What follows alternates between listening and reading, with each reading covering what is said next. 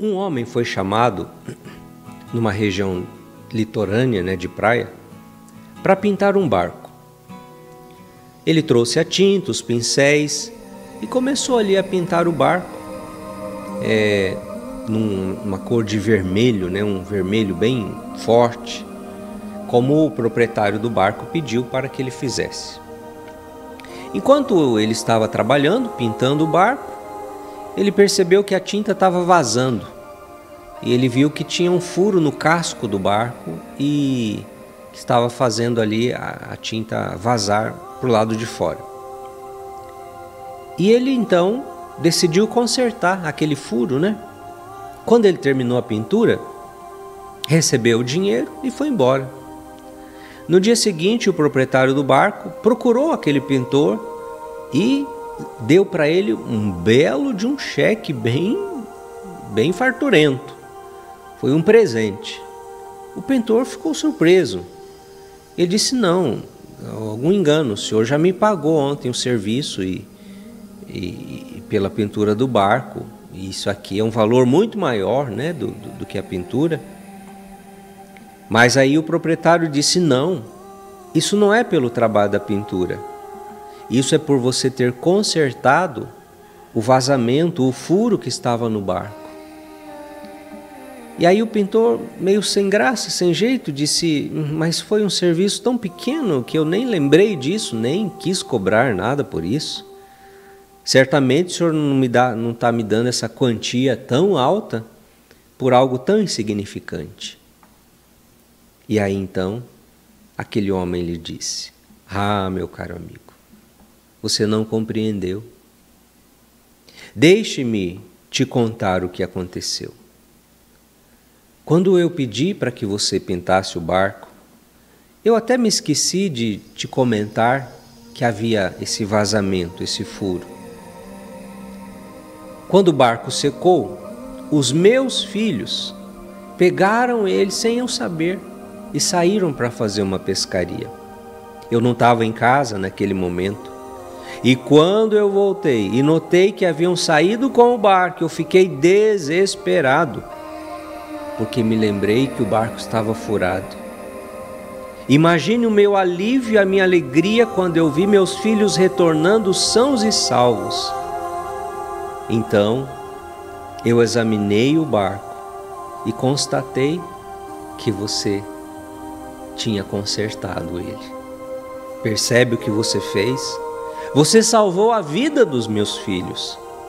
Olha, eu não tenho dinheiro suficiente para pagar a você por essa sua pequena, boa ação.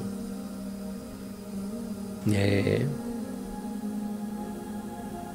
Quantas vezes na vida, né? Nós temos a oportunidade de fazer o bem, de ir mais além e tem gente que, que não consegue, né? Em tantas situações nós podemos aplicar isso aqui. Tem gente que é assim, não, eu faço aquilo que foi determinado. De repente você vê uma coisa ali, por exemplo, sei lá, uma coisa que pode é, alguém tropeçar e cair. Mas aí você pensa assim, ah, mas eu não tenho nada a ver com isso, não me pediram para fazer isso, eu não vou mexer porque depois alguém pode achar ruim. Tem gente assim? Tem, né? É assim, ó. É assim, é, é na viseira. Não é capaz de, de olhar mais além. Trazendo isso para a vida profissional, né? Quanta coisa. De repente é uma sala lá que a lâmpada está acesa sem ninguém estar lá dentro usando. Mas a pessoa pensa assim: eu não fui eu que acendi, por que, que eu vou apagar? Poxa vida! É tão. vai doer, você vai ficar pobre por causa disso, mas tem gente que é, é difícil, é complicado. E não é capaz, às vezes, de enxergar também, que tem isso, né? Tem gente que nem enxerga, que nem percebe que ali tem uma coisa fora do lugar, que ali tem uma coisa que pode ser melhorada. Não, ela é só aqui, ó. É isso que eu tenho que fazer, é isso que eu tenho que colocar aqui, é isso naquela gavetinha, é isso tal horário, é isso aqui e pronto, cumpri. Cumpri com a minha obrigação. O resto que não é, não é tarefa minha. Tem muita gente assim. E imagina se esse pintor também tivesse essa cabeça. Imagina se esse pintor também tivesse essa mentalidade. Ah, um, um furo aqui no barco. Bom, mas barco não é meu, ele não pediu para consertar, aí eu vou mexer aqui, depois ele me dá uma bronca. Ele teria errado se ele fizesse isso? Não. Mas ele foi capaz de ir além. Ir além do básico, ir além do, do obrigatório, vamos dizer assim. E aí é que está muitas vezes a diferença do porquê as coisas acontecem ou porquê as coisas não acontecem na nossa vida. Pense um pouco nisso.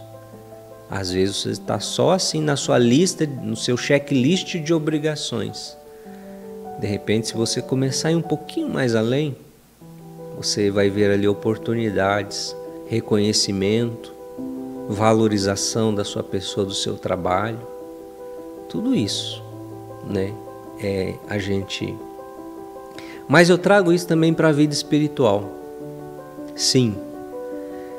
Porque na vida espiritual tem gente que é assim, é, é aí assim, tem o checklist, né? Bom, hoje eu rezar o terço, deixa eu ver, fazer a leitura, eu tenho que é, é, fazer tal coisa agora, domingo na missa, é, agora tem que dar o dízimo, aí você.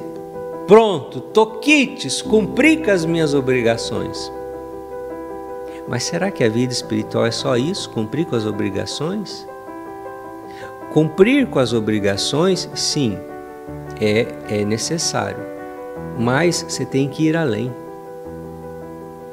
Você tem que ir além. Tem gente que pensa assim: quando eu cumpri todas as obrigações religiosas, eu tô nota 10. E não é nota 10, é nota 0. Cumprir as obrigações é nota é o ponto de partida, não é o ponto de chegada. Porque quando eu não cumpro as obrigações, ou seja, quando eu estou no pecado, quando eu não cumpro os dez mandamentos, aí é menos, menos um, menos dois, menos três. Quando você dá conta de viver de, nos mandamentos, de estar em dia com suas obrigações, é ponto de partida, é marco zero. E aí você precisa, em cima disso, agregar coisas que você não é obrigado a fazer, mas que você vai fazer por amor. É aqui que está a questão que muitos não crescem espiritualmente. Quer ficar só no obrigatório, quer ficar só no zero a zero não, você precisa ir mais além. Não é só não fazer o que é errado, você precisa fazer coisas boas, que não são obrigatórias, mas quando você começa esse caminho de amar, de amar, de amar, de amar, e vai esse amor vai frutificando na sua vida, aí sim você começa a agregar. E aí nós estamos falando de crescer na santidade, crescer na vida espiritual, crescer na comunhão com Deus, crescer nas virtudes. Então é isso que a gente precisa muitas vezes assim potencializar na nossa vida espiritual, né? Além de fazer a pintura do barco, também não custa nada fazer um ato de caridade, né? Conserta lá o buraquinho. Muitas vezes, né, na vida, quantas oportunidades de ajudar alguma coisinha ali. Oportunidades que Deus vai colocando na nossa vida e no nosso caminho. Amém?